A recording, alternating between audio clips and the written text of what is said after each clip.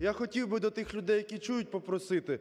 Потім в мене на Фейсбуці буде це відео. Показуйте його, будь ласка, тим депутатам, які дуже втомились, які перепрацювали, за яких ви голосували, які на сьогодні, подивіться, робочий час майже нікого немає, майже нікого немає на роботі.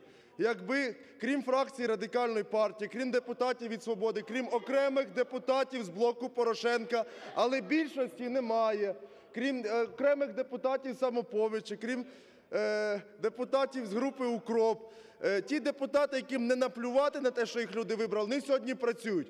А тепер уявіть, будь ласка, якби, лікар прогуляв роботу, були б якісь міри? Звичайно, були. Якби вчителька прогуляла роботу, якби пожарник прогуляв роботу.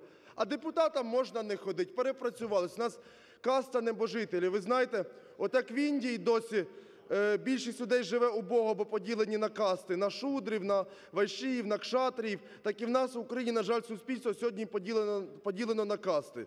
І в нас вища каста депутатів може собі дозволити, отримуючи гроші з бюджету, які складаються з податків, які забирають у бюджетників, у пенсіонерів, може тобі дозволити таке роз, е, розгільдяйство, не ходить на роботу. Це ганьба вам і сором. Дякую. Дякую. Народний депутат.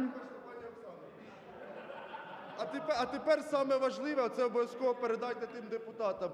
Відраху... Забрати е, зарплату за сьогодні в тих, хто прогулює. І хто не інвалід, відправити на фронт.